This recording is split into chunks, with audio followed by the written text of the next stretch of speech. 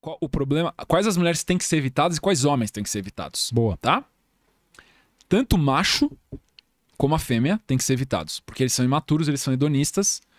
Bateu um vento, ah, odiei de você, cara. Efeito Coolidge no homem, de diversidade, a neurociência sabe disso, efeito refratário também. Quando o cara transa na primeira vez, tem um negócio chamado efeito refratário. Ele ejaculou, ele sente nojo. Na primeira vez? Se ele transou com ela e não tem vínculo emocional nenhum, você saiu com a menina lá do Tinder, transou, ejaculou, efeito refratário, sente nojo. Ele quer sair correndo. Ele, ele sente nojo da, da mulher ou ele. Da situação, Da ele quer situação. sair fora, velho. Ele quer, tipo, foi, já era, gozei, quero sair fora.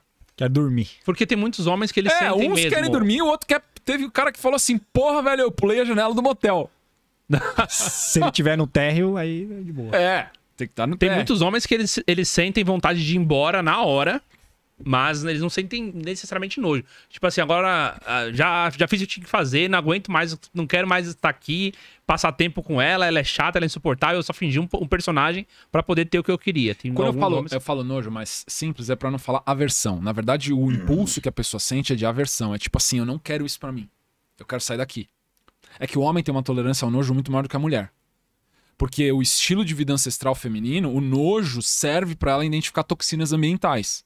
Então, por exemplo, quando ela tem um bebê, é, é, quando você pega uma mulher que tá no puerpério, acabou de ter um bebê, ou tá grávida, logo no começo da gestação, o, o faro, o olfato dela é bizarro. Ela sente cheiro, tipo, a 50 metros de distância. A sensibilidade do. A toxina. Tipo, quando a minha esposa ficou grávida, ela não conseguia tolerar o cheiro de café. Por quê? Porque cafeína é uma toxina. Na hora que eu deixava a- caneca de café, ela disse, pelo amor de Deus, lava a caneca, cara, porque eu tô ficando mega enjoada. Eu não, não conseguia tolerar o cheiro do meu desodorante Uhum. quando ela tava grávida.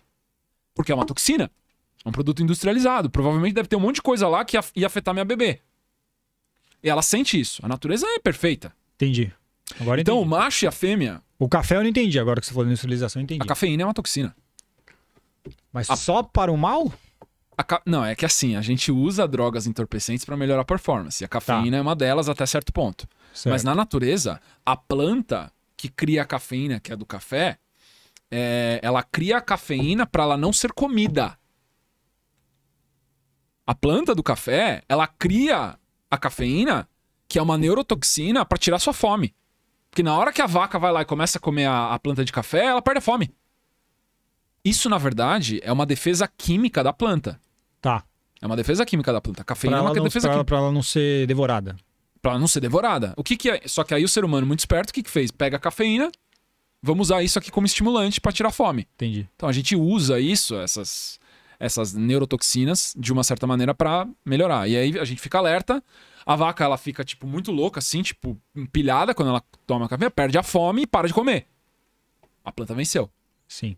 A gente refina e usa como droga a cafeína. Tem vários neurocientistas que falam, cara, não tem nada que melhora mais a performance do que a cafeína. Mas até certo ponto. Porque se você consumir uma grama de cafeína por dia, é igual a um quadro de psicose. Chama cafeinismo, síndrome do cafeinismo. Se você não chegar no psiquiatra e falar, eu tomo um litro de café por dia, dois litros, ele não sabe distinguir se você é psicótico ou se você é viciado em café. Ele não vai saber resolver seu problema. O outro, o outro par de pessoas que você tem que fugir é o homem feminilizado, emasculado e a mulher masculinizada. Que Você é um acha que isso tá abaixo. comum hoje em dia? Extremamente. Polaridade invertida é uma das coisas mais. Se você pegar a galera de relacionamentos, pessoas que ensinam direito até. O pessoal fala polaridade invertida, polaridade invertida, polaridade Sim. invertida. E o pessoal fala: é, cara, polaridade invertida. Esse cara tá feminino, essa mulher tá masculina. Você acha que o. Qual é o maior responsável por isso? Feminismo, por exemplo? Sem dúvida nenhuma. Ideologia, propaganda. Ideologia? ideologia propaganda e falta de linhas é, filosóficas e teológicas que fortalecem a masculinidade. Tem muito homem, tipo, falando assim, não, é, a gente tem que ser legal, a gente tem que ser de boa, a gente tem que. É isso aí, tipo. E... Agora é a vez delas. A nossa vez agora é chorar, porque nós somos homens brancos privilegiados, igual o Fiuk. Você não. Eu não. Na verdade, o pessoal tá dizendo que, na verdade, eu não sou preto também. Então, eu não sei o que eu sou. É, então.